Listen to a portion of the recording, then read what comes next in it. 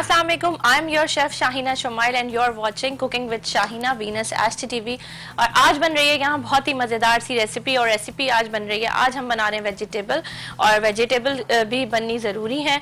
ऐसा नहीं है कि हम गोश्त खा रहे हैं चिकन खा रहे हैं तो हम वेजिटेबल्स को भूल जाएँ। तो आज हम बना रहे हैं यहाँ पे वेजिटेबल और आज बन रही है, आज बन रहा है मज़ेदार सा बैंगन का भरता। और बैंगन का भरता है और साथ साथ हम बनाएँगे एक पास्ता सैलेड। और बैंगन का भरता, ये थोड़ा सा हम चेंज बना रहे हैं। हम इसको बैंगन को रोस्ट करते हैं और रोस्ट करके इसको जलाकर और फिर बनाते हैं। फिर इसका फ्लेवर जो होता है वो आउट क्लास होता है। और आए मैं लेके चलती हूँ आपको अपने इंग्रेडिएंट्स की तरफ़। इंग्रेडिएंट्स मैं आपको बता रही हूँ। सबसे मेन पार्ट जो इंग्रेडिएंट्स का हमें बैंगन यूज़ करने और बैंगन मुझे कितने यूज़ करने मैं यहाँ पर 500 ग्राम यानी कि आधा किलो बैंगन यूज़ कर रही हूँ। अच्छा आप देख रहे होंगे कुछ इस तरह से, इस टाइप से मेरे पास जो है वो भर बैंगन जो है वो मौजूद है। असल में मैंने इन्हें क्या किया, मैंने इनके साथ ये किया कि मैंने बैंगन लिए, उसको चूल्हे पर मैंने इसको रोस्ट करा और रोस्ट करने के बाद मैंने बैंगनों का पील करके इस तरह से निकाल के रख दिया। टाइम की वजह से मैंने ये कुछ कुछ डन कर लिए हैं और एक फ्रेश बैगन आपको यहाँ नज़र आ रहा होगा तो मैं आपको बताऊँगी कि ये मैंने किस तरह किया था। इसलिए मैंने सोचा कि एक बैंगन जो है मैं आपके साथ शेयर करूँगी कि किस तरह से मैंने इसका प्रोसेस किया। उसके अलावा मेरे पास यहाँ तीन अदर टमाटर मौजूद हैं। तीन अदर मैंने इसके अंदर टमाटर लिए हैं। अगर आपके पास नॉर्मल साइज़ के हों मतलब मेरे पास थोड़े छोटे और बड़े में हैं तो मैंने तीन लिए वरना आप दो अदर लेंगे और रेसिपी कार्ड में भी मैंने दो टमाटर लिखे हैं। तो अगर बिग साइज़ के आप लेंगे तो दो टमाटर लेंगे अदरवाइज़ आपके पास छोटे बड़े हों तो आप तीन ले सकते हैं। आधा किलो बैंगन है मेरे पास और यहाँ पर मैंने, आप समझ रहे हैं, अगर इसकी रेसिपी हम रेसिपी कार्ड के थ्रू फॉलो करते हैं तो हमने दो अदर टमाटर लिए हैं। इसके अलावा हाफ़ के जी बैंगन मेरे पास मौजूद है। अब आ जाते हैं हम अपने स्पाइस की तरफ़ के इसमें हम क्या स्पाइस डालेंगे। सबसे पहले यहाँ मेरे पास मौजूद है गरम मसाला। गरम मसाला गरम मसाला मौजूद है मेरे पास। उसके अलावा मेरे पास यहाँ पर जो है, ये हल्दी मौजूद है one four teaspoon two teaspoon मैंने इसके अंदर रेड चिली पाउडर यानी कि पिसी हुई लाल मिर्च ली है।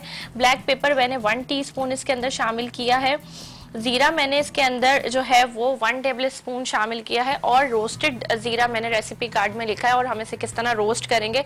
अगर आपने रोस्ट पहले से करके रखा हुआ है तो कोई मसला नहीं है, लेकिन मैं इसको साथ साथ रोस्ट करूँगी। उसके बाद हम अपनी रेसिपी को आगे लेके चलेंगे। इसके अलावा मेरे पास क्रश चिली है। वन टी मैंने इसके अंदर क्रश चिली ऐड करी है और टू टी मैंने इसके अंदर रेड चिली पाउडर जो मैं अभी आपको बता चुकी हूँ वो किया है। White pepper one four tea इसके अंदर शामिल होगा और साथ साथ शुगर जो है, मेरे पास मैं अभी इसे नहीं बता रही हूँ क्योंकि ये सैलेड की है। इसके अलावा इसके अंदर अनियन जाएगी, वन चॉप्ड अनियन, एक मैंने बिग साइज़ के अनियन लिया है, उसको फाइन चॉप कर लिया है। चॉप्ड अनियन मैं इसलिए यूज़ कर रही हूँ कि भरते में अगर हम लोग स्लाइस प्याज यूज़ कर लेते हैं तो वो इतनी ज़्यादा जो है ना, वो गायब नहीं होती इसके अंदर पकती नहीं है, थोड़ा सा उसका आता है अरोमा तो इस वजह से मैंने स्किप की है स्लाइस प्याज। उसकी जगह मैंने ये चॉप्ड प्याज यूज़ करी है। अब आ जाते हैं हम अपनी पास्ता सैलेड के इंग्रेडिएंट्स की तरफ़ और पास्ता सैलेड के क्या इंग्रेडिएंट्स है वो मैं आपको बताऊँगी। पास्ता सैलेड के लिए मैंने हाफ़ कप लिया है ये आ, पास्ता लिया है मैंने और इसको आप मैक्रोनी भी कह सकते हैं एल्बो साइज़ का मैंने ये लिया है यहाँ पर हाफ़ कप साथ साथ मैंने एक गाजर ली है और उसको आप देख लें, मैंने चॉप्ड कर लिया है। बहुत ज़्यादा इसको मैंने क्योंकि हम सैलड में ऐसा होता है कि अगर आप बड़ी वेजिटेबल्स डाल दें तो वो आपके मुँह में आती हैं और आपका सारा फ्लेवर ख़राब करती हैं। तो मैंने गाजर ली है इसके अंदर, एक अदद और मैंने इसके अंदर एक अदर शिमला मिर्च ली है, लेकिन शिमला मिर्च का साइज़ थोड़ा सा स्मॉल था, बहुत ज़्यादा मैंने बड़ी नहीं ली है। अगर आप लोग ज़्यादा पसंद करते हैं तो आप बड़ी शिमला मिर्च इसमें ऐड कर सकते हैं। इसके अलावा मायोनीज़ है मेरे पास वन फोर्थ कप मैंने इसमें मायोनीज़ ली है, और शुगर जाएगी हमारी सैलड में वन टेबल स्पून मैंने इसके अंदर शुगर ली है। ब्लैक पेपर इसमें जाएगा, मैंने थोड़ा सा ज़्यादा लिया था हाफ़ मेरी रेसिपी में जाएगा, बैंगन में, और हाफ़ जाएगा ब्लैक पेपर पास्ता सैलड में, और व्हाइट पेपर जाएगा और सॉल्ट आप अपने टेस्ट के हिसाब से इस्तेमाल कर सकते हैं। और बैंगन का भरता मैं घी में बना रही हूँ, क्योंकि घी में इसका फ्लेवर बहुत अच्छा होता है। ऑयल की बनस्बत आप लोग इसे घी में बनाएँ तो ज़्यादा मज़ेदार बनेगा। सारे इंग्रेडिएंट्स मैंने आपको बता दिए हैं और चलते हैं हम अपनी कुकिंग की तरफ़। और सबसे पहले क्या करना है हमने, सबसे पहले स्टेप मैं आपको बताऊँगी कि बैंगन को मैंने किस तरह से रोस्ट करा था। तो मैं आपको उसकी रोस्टिंग यहाँ सिखा रही हूँ। सबसे पहले हम एक बोर्ड ले लेंगे। और ये जो डन हुआ हुआ है, इसको हमने यहाँ रखना है। अच्छा इसमें मैं कट्स लगा रही हूँ। ये देखें आप। एक इस तरह से कट्स लगाया मैंने और एक इसकी दूसरी साइड कट लगाया है। अच्छा गार्लिक क्लोव्स मैंने five two six recipe card में लिखे थे तो वो गार्लिक क्लोव्स हमने किस तरह यूज़ करे हैं? बैंगन को कट लगाया है। गार्लिक क्लोव्स मेरे हाथ में है और मैं इस तरह से इसको इसके अंदर फिल कर रही हूँ। और ये अगेन भी मैं इसके अंदर, ये इस तरह से मैंने इसको फिलअप किया है। ये गार्लिक क्लोव्स मैंने इसके अंदर डाले हैं लहसन मैंने इसके अंदर डाला अगर आपके पास देसी लहसन है तो आप देसी भी यूज़ कर सकते हैं। और uh, मैंने जो है ये चाइना वाला जो लहसन होता है आप लोग इसे पता नहीं क्या कहते हैं। और uh, मैंने ये यूज़ किया है। और मैं अब देखें फ्लेम को मैंने हाई रखा है। और हाई फ्लेम पे आपने इस तरह से बैंगन को रख देना है। टोंग ले लेते हैं। ताकि हम इसको रोटेट करने में हमें आसानी हो। और इसको सेट कर लेते हैं चूल्हे पे। और हम इसको रोस्ट करेंगे। जब तक ये हमारी रोस्टिंग हो रही है इसकी तो हम आ जाते हैं अपनी पास्ता की बॉयलिंग की तरफ़ और हम करते हैं अपने पास्ता को बॉयल अच्छा मैंने अब स्टोव को अपने ऑन कर दिया है और स्टोव ऑन हो गया है और अब हम क्या कर रहे हैं? अब हम अपने पास्ता को बॉईल करने रख रहे हैं और बॉइलिंग के जो मेथड्स होते हैं, मैंने अपनी पहली रेसिपीज़ में भी आपको बताएँ जो मैंने शेयर की थी आपके साथ एल्फ्रेडो पास्ता की रेसिपी और इसके अलावा जो है वो आज मैं बता, आज भी दोबारा से मैं बता देती हूँ, जिन लोगों ने वो रेसिपी नहीं देखी है तो वो जाके भी हमारे यूट्यूब चैनल पर हमारी रेसिपीज़ जो आप लोगों से देखने से मिस हो गई हैं, वो भी जाके देख सकते हैं और अभी जो है मैंने अपना सिर्फ़ स्टोव को ऑन किया है दैट्स इट और मैं अब इसके अंदर सॉल्ट ऐड करूँगी. वन टेबल स्पून मैंने सॉल्ट ऐड करा है इसके अंदर. सॉल्ट ऐड हो गया.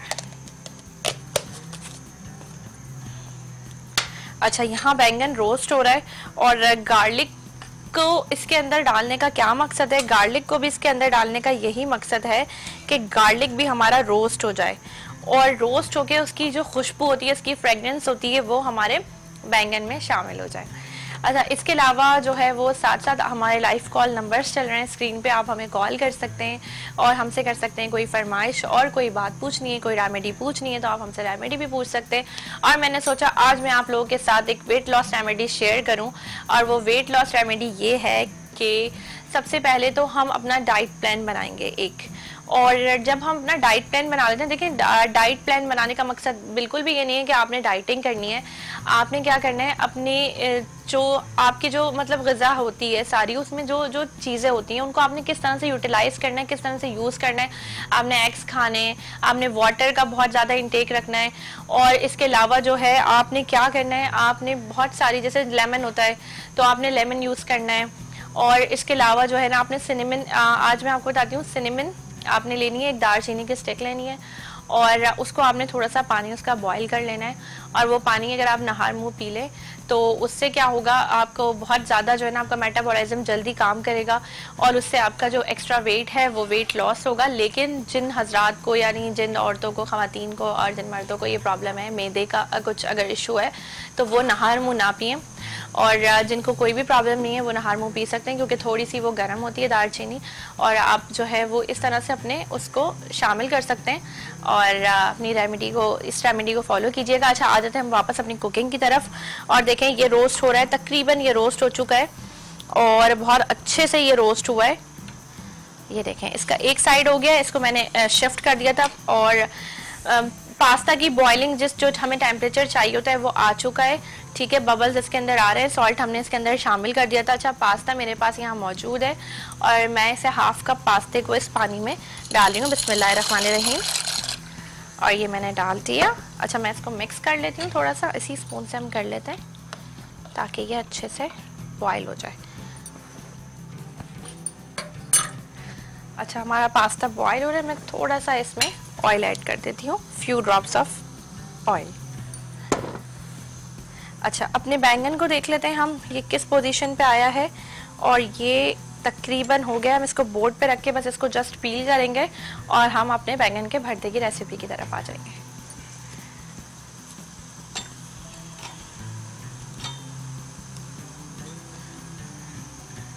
पास्ता भी बॉयल हो रहा है और ये हमारा बैंगन भी रोस्टेड जो बैंगन होते हैं ना, उनका फ्लेवर बहुत मज़ेदार होता है। इतना ज़्यादा अच्छा इनका फ्लेवर होता है। बनस्बत हम जो है, वो काट के बैंगनों को बनाते हैं तो उनका इतना अच्छा फ्लेवर नहीं होता जितना हमारा रोस्टेड बैंगन का फ्लेवर आता है।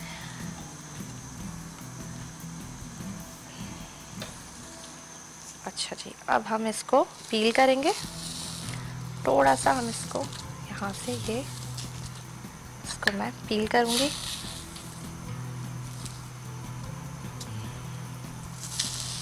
इस तरह से आप कोई भी टोंग ले सकते हैं, किसी भी चीज़ से आप इसको पील कर सकते हैं।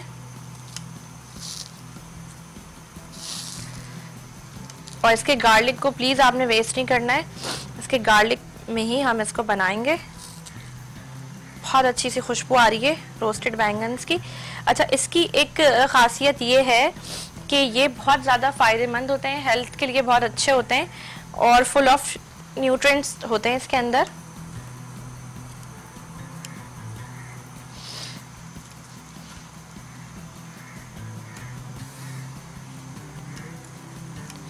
फॉरेन कंट्रीज़ में तो ये आ, मतलब मीट के एग्ज़ाम्पल वो लोग देते हैं कि मीट और ये एक बराबर है। फॉरेन कंट्रीज़ में इतना ज़्यादा इस्तेमाल होता है इनका अच्छा साथ साथ हम अपने पास्ते को भी देख लेते हैं।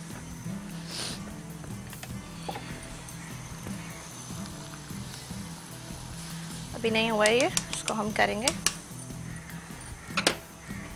और आ जाते हैं दोबारा से इसकी पीलिंग की तरफ़।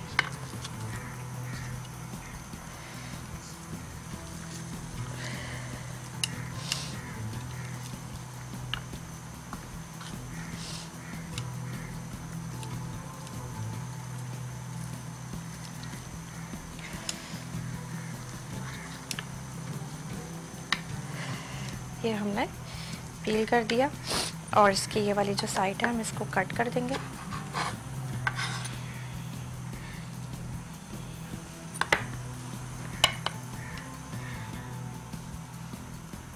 जो रह गया है, उसको भी पील कर लेते हैं। ठीक तरीके से।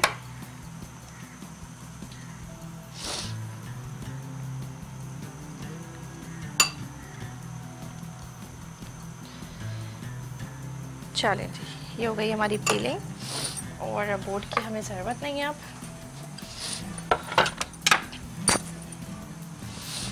अच्छा इसको हमने क्या करना है? टोंग की मदद से इसको मैश कर लेना है। और ये इस तरह से देखें मैं मैश कर रही हूँ इसको। और जो भी हमने बिल्कुल गरम गरम किया है आपके सामने तो वो तो बहुत अच्छे से मैश्ड हो गया है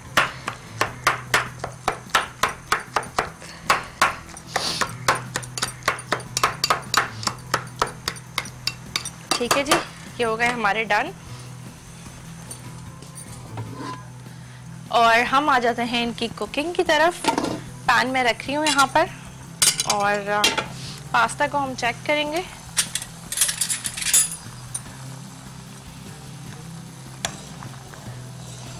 पास्ता भी हमारा बॉयल हो रहा है.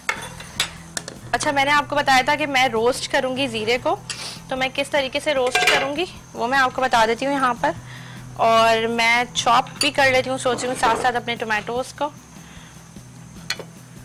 इसको हम बोर्ड को नीट कर लेते हैं अपने।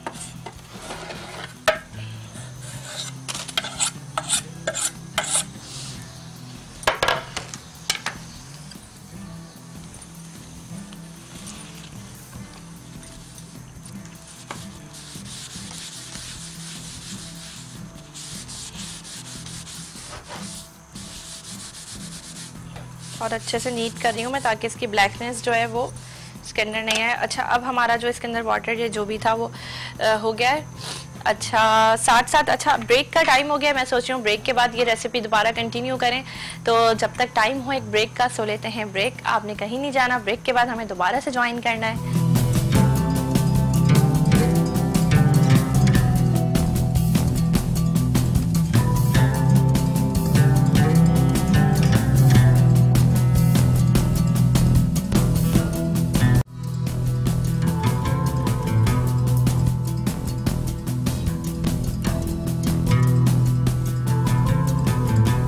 Welcome back to our break and a very good afternoon to you break से आ चुके हैं, वापस और बन रहे हैं यहाँ बैंगन का भरता और साथ साथ हम बना रहे हैं पास्ता सैलड और हम देख लेते हैं अपने पास्ता को कि किस हद तक बॉयल हो गया और मैंने आप लोग के सामने मैंने स्टॉप किया था, अपनी रेसिपी कंटिन्यू नहीं करी थी और मैंने सिर्फ़ अपने टोमेटोज़ को चॉप किया था दैट सेट क्योंकि इसमें आप कोशिश करें कि प्याज और टमाटर दोनों ही चॉप्ड जाएँ। अच्छा पास्ता में भी अभी थोड़ा सा टाइम है, हम इसको मज़ीद पकने देंगे। और साथ साथ आ जाते हैं हम अपने ज़ीरे की तरफ़, जिसको मैंने कहा था कि यहाँ रोस्टेड शामिल होगा। तो वन टेबल स्पून रोस्टेड ज़ीरा जो मेरे पास मौजूद है, उसे मैंने इस तरह से पैन में डाल दिया है सिर्फ़। और मैं इसको एक से दो मिनट के लिए रोस्ट करूँगी। दैट्स जब मुझे इसकी खुशबू आने लगेगी तो मैं इसकी रोस्टिंग स्टॉप कर दूँगी। अच्छा आपने ये बहुत ज़्यादा ना हाई फ्लेम हो आपकी और ना बहुत ज़्यादा ना लो फ्लेम हो, उस पर आपने इसको रोस्ट करना है। स्पून ले लेते हैं एक।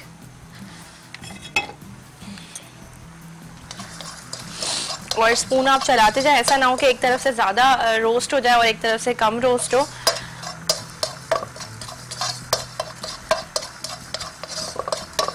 जलाना नहीं है, आपने बहुत ख्याल करना है क्योंकि ज़ीरा बहुत ज़्यादा नाजुक होता है और बहुत जल्दी इसका कलर चेंज होता है।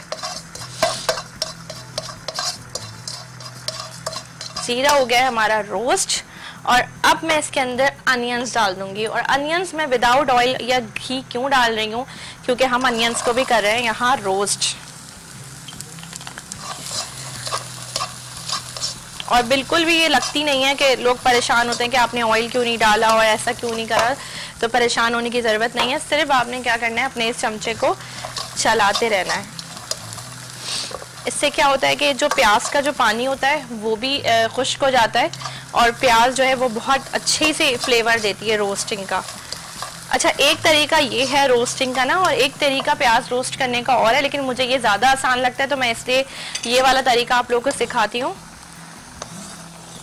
और दूसरा तरीका क्या है? दूसरा तरीका ये है कि आप चूल्हे पे जिस तरह मैंने अभी बैंगन रोस्ट करें, यानी कि उसको मैंने बनाया, इसी तरह आपने प्याज रखनी है, और प्याज को आपने पूरा उसका अंदर का जो छिलका है, ऊपर का जो छिलका है, उसको रिमूव कर दें डिस्कार्ड कर दें, और अंदर का जो उसका गूदा है, उसको आप अपनी शेफ नाइफ से चॉप्ड करें और इस्तेमाल करें। और जिन लोगों को शेफ नाइफ यूज़ नहीं करनी आती तो वो ब्लेंडर में, हैंड मिक्सर में, किसी चीज़ में भी चॉप कर सकते हैं, इसको मैश कर सकते हैं। अनियंस को हम रोस्ट कर रहे हैं। और ये इसको हम करेंगे मज़ीद एक से दो मिनट। चमचा आप अपना कंटिन्यूसली चलाते रहें। स्पून, ऐसा ना हो कि ये फिर चिपक चिपके या कुछ हो तो आप इसके लिए स्पून चलाते रहें। अच्छा नॉन स्टिक जो बर्तन होते हैं, उनकी ये खासियत होती है, वो बहुत जल्दी खाना नहीं चिपकाते हैं। तो इसमें आपका फ़ूड सेफ़ रहता है। वैसे ये हेल्थ के अतबार से इतने ज़्यादा सही नहीं है क्योंकि हेल्थ के अतबार से तांबे के जो बर्तन होते हैं बहुत ज़्यादा वो आ, सही होते हैं आपकी सेहत के हिसाब से। आ, जिन लोगों के घर में अगर मौजूद हैं तो प्लीज़ उन्हें आप डिस्कार्ड ना करें उन्हें संभाल के ना रखें उन्हें इस्तेमाल करें उससे आपकी बॉडी में आयरन की कमी नहीं होगी और बहुत सारे उसके अंदर माइनरल्स मौजूद होते हैं। अच्छा ये देखें आप, प्याज जो है वो वाइट से इसका कलर चेंज हो रहा है। इसका मतलब कि ये रोस्टिंग की तरफ़ आ गई है और तकरीबन 70 परसेंट तक ये हो चुकी है रोस्ट इसकी वाइटनेस ख़त्म हो जाए येलो की तरफ़ इसकी टोन आए तो आप समझ जाए कि ये अब हमारी रोस्ट हो गई है। इसको हम थोड़ा सा मज़ीद करेंगे, एक से दो मिनट।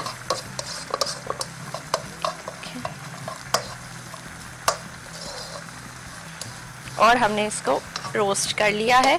अब हम इसमें घी ऐड करेंगे। आप लोग ऑयल और सरसों का तेल जो भी यूज़ करना चाहें वेजिटेबल्स में जो लोग इस्तेमाल करते हैं घरों में तो वो कर सकते हैं। मैं इसको घी में बना रही हूँ और ये मैंने घी यहाँ पर शामिल किया है। हाफ़ कप मेरे पास ये घी है। इसको मैं मिक्स कर रही हूँ।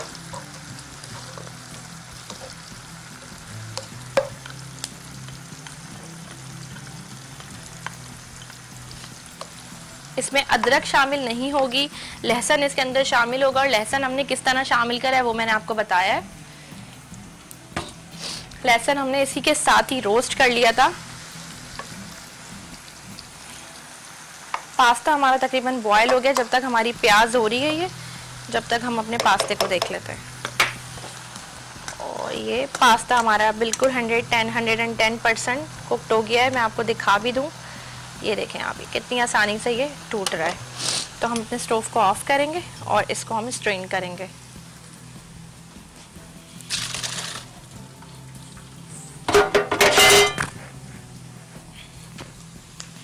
अच्छा पास्ता बॉईल हो गया है, उसको मैंने ठंडा करने रखा है। प्याज आप देख सकते हैं कि ये तकरीबन थोड़ा सा इसमें पिंकिश गोल्डन कलर आ जाएगा। तो मैं इसको ब्राउन नहीं करना है, आपने प्याज को और ना आपने इसको जो है ना, वो वाइट रहने देना है, आपने इसको थोड़ा सा गोल्डन करना है।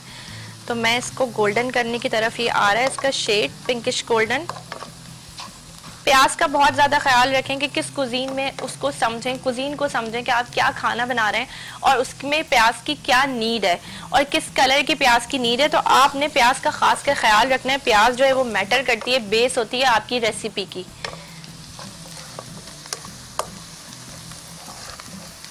अगर कोरमे में हम ब्राउन प्याज करते हैं तो अगर वो परफेक्ट ब्राउन नहीं होगी तो कोरमे का कलर ख़राब हो जाता है, कोरमे का फ्लेवर ख़राब हो जाता है। तो इन चीज़ों का बहुत ख्याल रखना है आप लोगों ने।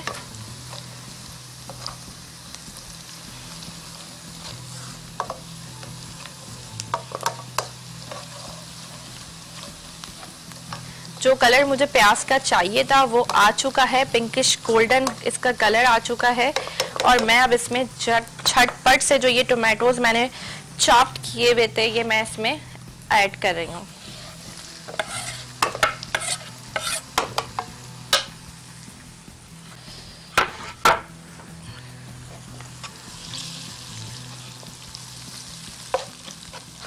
और हम इसको सॉफ्ट होने देंगे, एक प्योरी की तरह बनने देंगे तो हम इसको कुक करेंगे।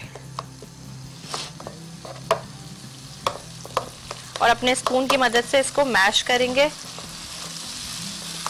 इसका हमने एक पेस्ट सा बना लेना है। ऐसा ना हो कि टमाटर अलग अलग से आ रहे हैं, मुँह में प्याज अलग से आ रही है, प्याज और टमाटर हमने मिक्स करना है।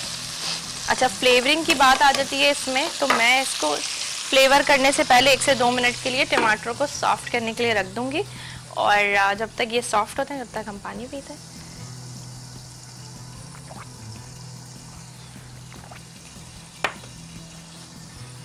एक से दो मिनट के लिए सॉफ्ट करेंगे, बहुत ज़्यादा नहीं जैसे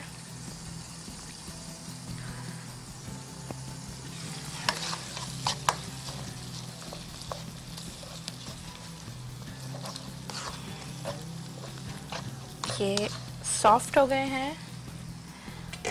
और अब हम अपनी फ्लेम को थोड़ा सा मीडियम रखेंगे। अच्छा अब साथ साथ हम आ जाते हैं फ्लेवरिंग की तरफ़। सबसे पहले मैं इसके अंदर हल्दी टर्मेरिक जो मेरे पास मौजूद है, मैं इसमें हल्दी शामिल कर रही हूँ।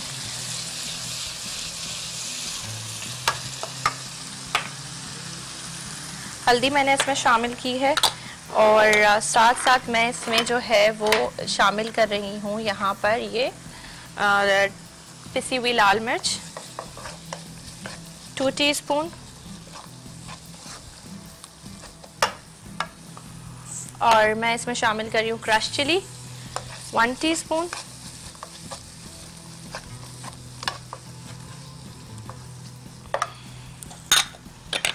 salt आप अपने टेस्ट के हिसाब से शामिल कीजिएगा। सॉल्ट मैंने इसमें ऐड किया है।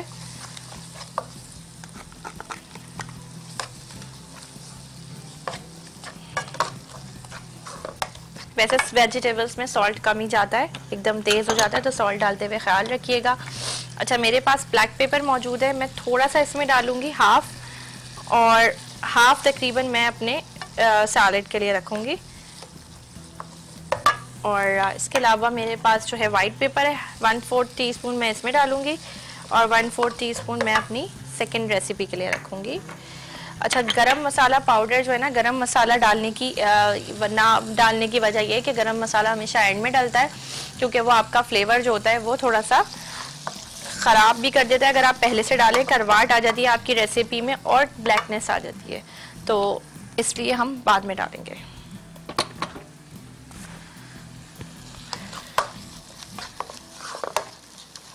मसाला अच्छे से मिक्स हो गया है और इसको मैं थोड़ा सा हाई फ्लेम पे भूनूँगी। ये देखें आप, बिल्कुल एक प्यूरी की तरह हमारी ये तैयार हुई है और इसके साथ जो मेरे पास ये बैंगन मौजूद थे, ये मैं हाई फ्लेम पे डालूँगी। ठीक है? लो फ्लेम पे नहीं डालूँगी। मज़ीद मैं मसाले को भून रही हूँ स्टेयर कर रही हूँ ताकि मसाला अच्छे से भुन जाए और ये मसाला अच्छे से भुन गया है। और अब मैं ये ब्रिंजल जो है, ये ऐड कर। रही हूँ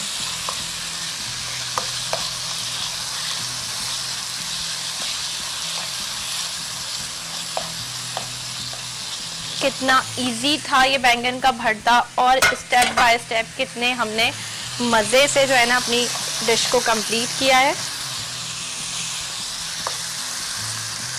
अच्छा रेसिपी कार्ड में मैंने लिखा था कि हम इसमें पिसा हुआ धनिया भी डालेंगे और वो मैंने यहाँ नहीं डाला है। आप चाहें तो वो डाल सकते हैं।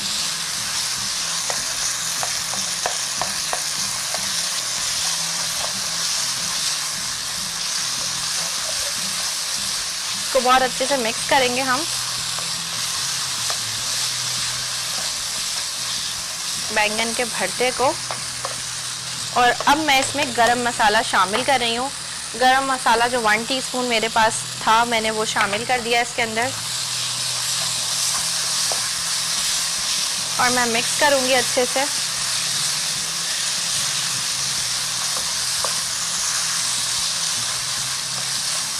मज़ेदार सा बैंगन का भरता यहाँ तैयार हो गया है। अब हम इसको हल्की आँच पे कुक करेंगे। और पानी मैं इसमें वैसे डालते नहीं है, लेकिन मैं इसमें टू टेबल स्पून पानी ऐड कर रही हूँ, बहुत ज़्यादा नहीं। बस दैट्स इट ताकि हम इसको अच्छे से थोड़ी देर कुक कर लें।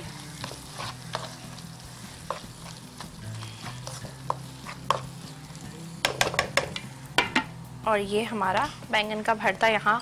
तकरीबन हमने इसको, इसके बाद 10 मिनट्स तक कुक करना है और बैंगन का भरता हो जाएगा रेडी और साथ साथ आ जाते हैं हम अपनी सेकंड रेसिपी की तरफ़ और सेकंड रेसिपी मैं बना रही हूँ।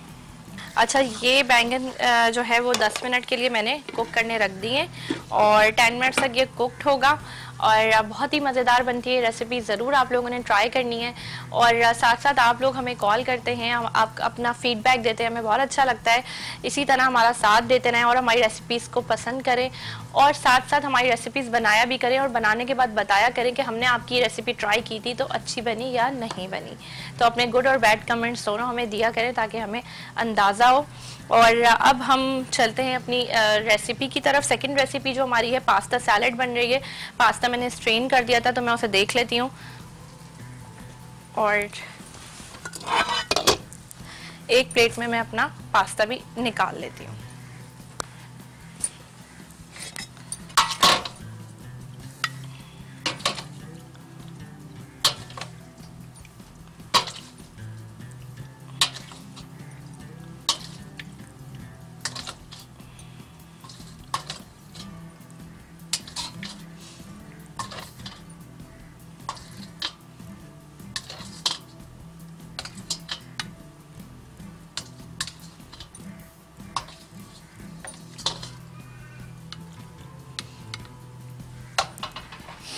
और ये हाफ़ कप पास्ता मैंने निकाल लिया है। ये बॉयल हुआ हुआ है। अच्छा मैं साथ साथ अपने बैंगन के भरते को देख लूँ। इसमें आपने कंटिन्यूसली इसको छोड़ के भूल नहीं जाना। आपने इसमें इस तरह से स्पून चलाना है।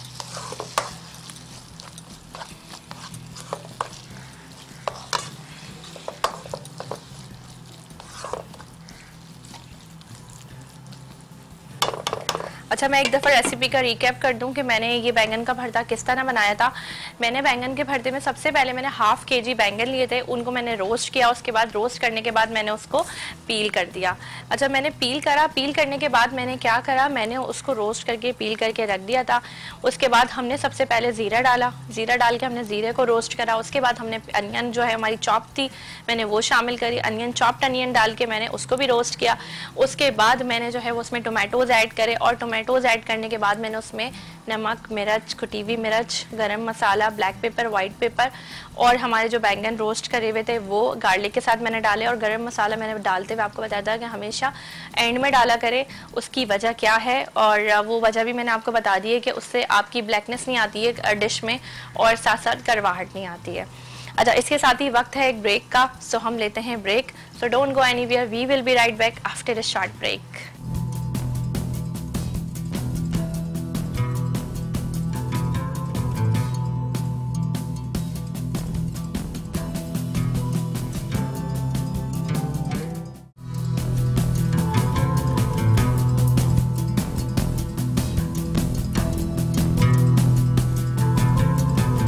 welcome back to our break और ब्रेक से आ चुके हैं हम वापस और चल रहे हैं अपनी सेकंड रेसिपी की जाने पर और सेकंड रेसिपी हमारी बन रही है यहाँ पे पास्ता सैलड बहुत ही सिंपल इंग्रेडिएंट से बन जाती है और इसमें एक ऑप्शन और है आपके पास. अगर आप इसके अंदर फ्रूट ऐड करना चाहें फ्रूट ऐड कर सकते हैं. आप इसके अंदर पोटैटो ऐड करना चाहें पोटैटो ऐड कर सकते हैं.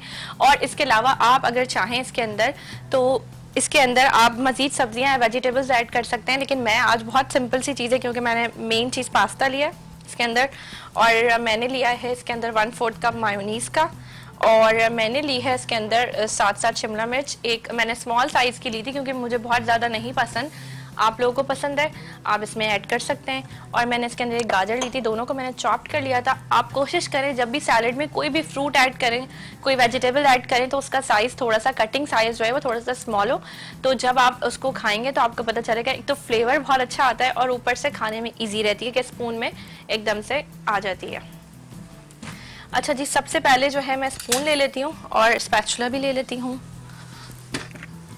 स्पैचुला मैंने लिया है और मैं निकाल रही हूँ अपनी मायोनीस को, इसके अंदर से।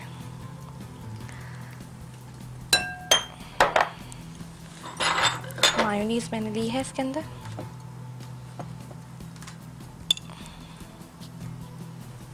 ठीक है जी, इसको साइड कर देते हैं हम। अच्छा बैंगन के भरते को भी चेक कर लेते हैं। और ये देखें आप, ये बिल्कुल डन है। बैंगन का भरता हमारा बिल्कुल तैयार है। अच्छा मैं इसमें थोड़ा सा वाटर आपको पता है कि मैं सैलड्स बनाती हूँ या मैं जो है वो सैलड्स बनाते हैं हम उसमें भी वाटर ऐड करते हैं या हमने सॉस बनाई थी आ, उसकी आ, क्या कहते हैं क्लब सैंडविचेस की टिक्का सैंडविचेस जो मैंने बनाए थे उसमें भी मैंने वाटर ऐड किया था। अच्छा। सबसे पहले हम इसमें डालेंगे शुगर शुगर मैं इसमें डाल रही हूँ, तकरीबन वन टेबल स्पून शुगर मेरे पास मौजूद है। अगर जो लोग डाइट के लिए तौर पर ये सैलड बना रहे हैं और खा रहे हैं तो वो शुगर स्किप कर सकते हैं। ठीक है, ये ऑप्शनल है, लेकिन हम जब फ्लेवरिंग वाली सैलड बनाते हैं कि अच्छा सा फ्लेवर आए तो हम जो है वो ये शुगर ऐड करते हैं। अगर आप चाहें स्किप कर सकते हैं नो इशू अच्छा इसके अलावा ब्लैक पेपर मेरे पास मौजूद है one teaspoon I am gonna add this और one four teaspoon white pepper मैंने इसमें शामिल किया है। अब मैं इसको मिक्स करूँगी। अच्छे से।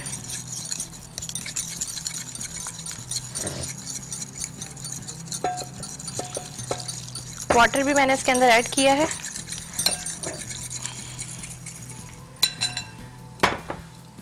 Black pepper water sugar and then हम अब शुगर को डिज़ोल्व कर रहे हैं क्योंकि uh, मैंने फाइन शुगर नहीं ली है मैंने रॉ शुगर ली थी तो वो हम डिज़ोल्व कर रहे हैं।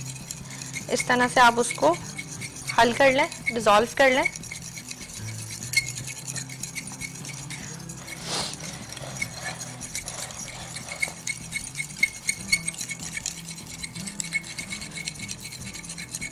बहुत अच्छे से करें, क्योंकि रॉ शुगर जो होती है वो मुँह में आ जाती है तो फिर फ्लेवर अच्छा नहीं आता। और इसलिए मैं थोड़ा सा ज़्यादा इसको मिक्स करी हूँ। और देखें, आप वाटर हमारा बिल्कुल गायब हो गया है। बिल्कुल भी इसके अंदर वाटर नहीं है।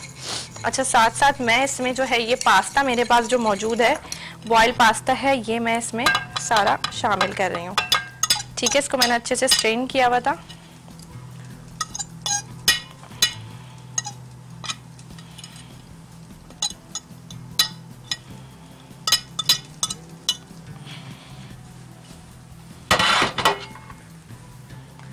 पास्ता मैंने इसके अंदर ऐड कर दिया है। साथ साथ मेरे पास जो कैप्सिकम मौजूद है, मैंने वो ऐड की है और मुझे लग रहा है कि ये डन हो गया मैं इसको हम ये देखें ऑयल इसका ऊपर आ गया है। इसके अंदर बिल्कुल भी वाटर नहीं है।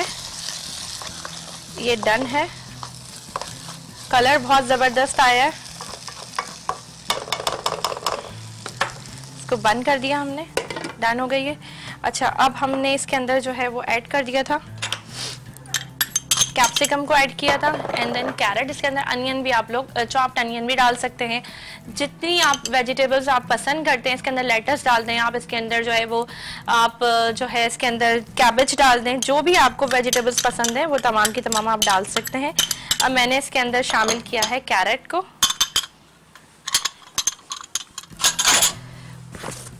और मैं इसको मिक्स करूँगी। स्पैचुले से मिक्स कर रही हूँ मैं इसको। आप देखें मिक्स ऐसे ऐसे नहीं करना, हमने इसको फोल्ड करना है। ये देखें, इस तरह से आपने इसको फोल्ड करना है। ये आपने इसको फोल्ड करना है। ये देखें, अगर आप इस इस तरह से मिक्स कर लेंगे तो वो कहीं पर आएगी। मायोनीस हमारी जो हमने इसकी बनाई है बेस बनाई है, कहीं पर आएगी और कहीं पर नहीं आएगी तो हमने इसको फोल्ड करना है। लाइक like दैट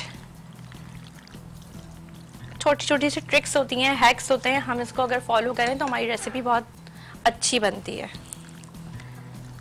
ठीक है? ये देखें हम।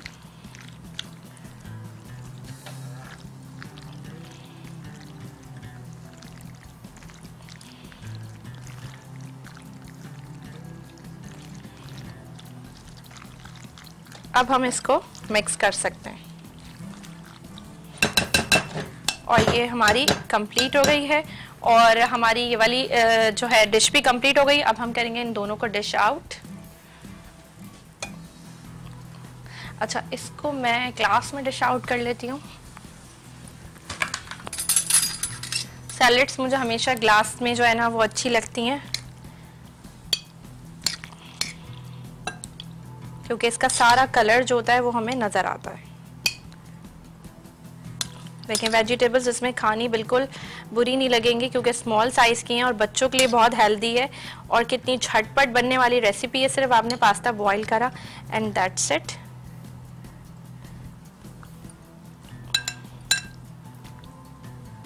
ये आपने इस तरह से इसको निकाल देना है। और ये मैंने इसको निकाला है। अच्छा मैं एक प्लेट ले रही हूँ और अब मैंने सैलड ग्लास में निकाली क्योंकि मुझे हमेशा अच्छी लगती है सैलड ग्लासेस में। और अब मैं जो है वो बैंगन का भरता निकाल रही हूँ यहाँ पर।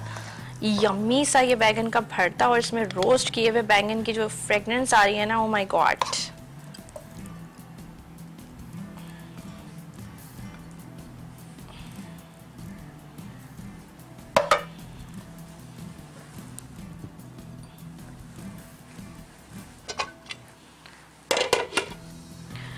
और आज की हमारी रेसिपी हुई है कंप्लीट और आज हमने बनाई थी दो रेसिपीज़ एक हमने बनाया था पास्ता सैलेड और साथ साथ हमने बनाया था बैंगन का भरता. आई होप आपने आज की रेसिपी इंजॉय की होगी और आपको ज़रूर पसंद आएगी. ज़रूर ट्राई कीजिएगा और इसके साथ ही मुझे और मेरी टीम को दीजिए इजाज़त. इन कल मिलेंगे एक नए दिन और एक नई रेसिपी के साथ. जब तक के लिए अल्लाह हाफिज़.